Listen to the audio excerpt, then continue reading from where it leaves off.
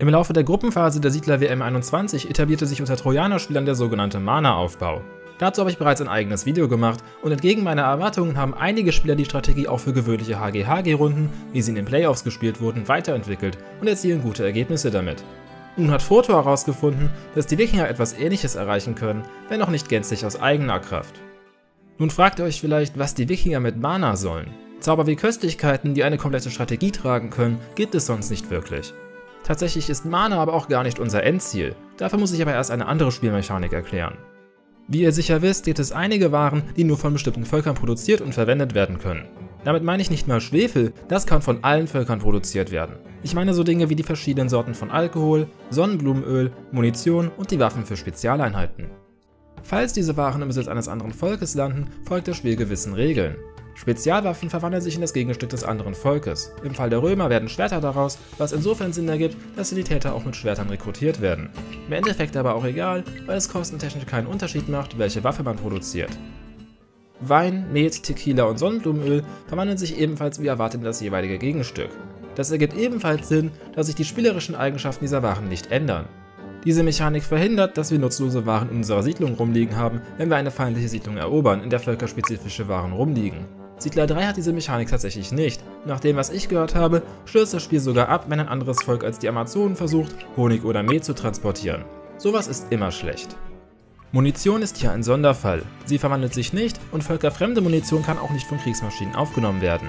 Dementsprechend gibt es auch keinen Sonderfall für die Wikinger, die gar keinen Munitionszweig haben, sondern stattdessen Mana verwenden.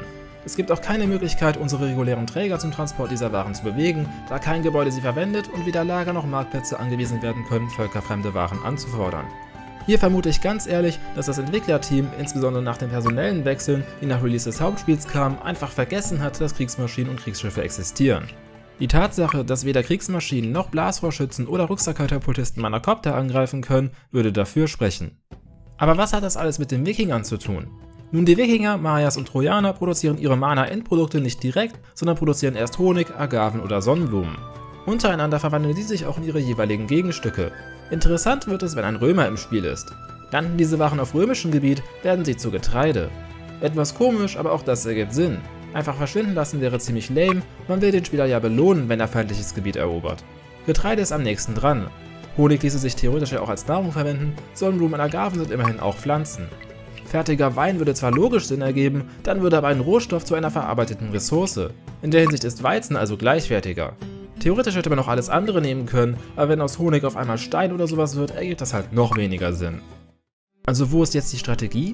Ganz einfach, wenn ein römischer Verbündeter vorhanden ist, können Wikinger, Mayas und Trojaner diesem einfach ihr Mana-Grundprodukt schicken und es als Getreide zurückschicken lassen.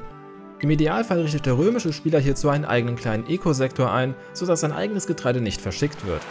Theoretisch könnte man auch das Gebiet eines römischen Gegners ausnutzen, aber auch wenn es möglich ist, feindliche Marktplätze zu beliefern, wird euer Gegner wohl kaum einen bauen oder so nett sein, euch das Getreide zurückzuschicken.